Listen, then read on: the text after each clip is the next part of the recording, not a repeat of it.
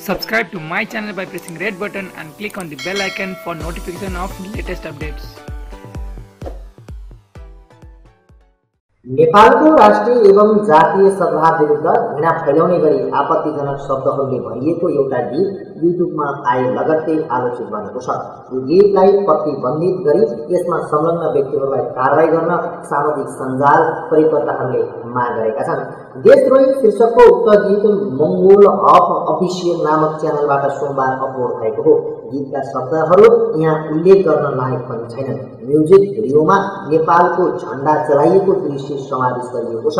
Rap जनरामा गाइएको गीतको lyrics ऱ्यापरका रूपमा मङ्गोल ग्लाइस ली एन्ड एटिएम उल्लेख छ।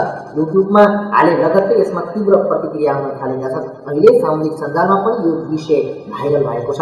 सबैले यस गीतमाथि तत्काल एक्सन लिन प्रहरीलाई आग्रह गरेका छन्। मकवानपुर जिल्लाको बागमती गाउँपालिका स्थित श्री विष्णु आधारभूत विद्यालयको प्राङ्गणमा गीतको सुटिङ गरिएको बुझिएको छ।